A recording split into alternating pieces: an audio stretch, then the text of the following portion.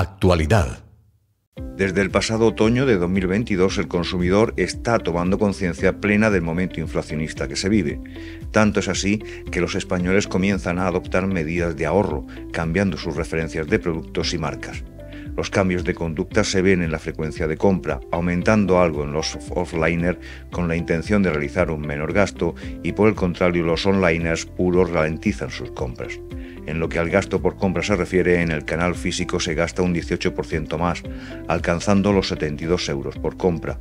Los consumidores mixtos gastan un 11% más en la tienda física y un 9% menos en el canal online. Por último, los consumidores netamente online suben su gasto un 2%, alcanzando los 113 euros. Su comportamiento determina una vuelta al canal Oreca.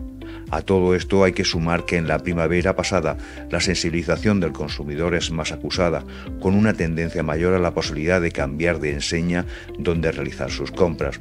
Cada vez es más complicado mantener la lealtad del comprador.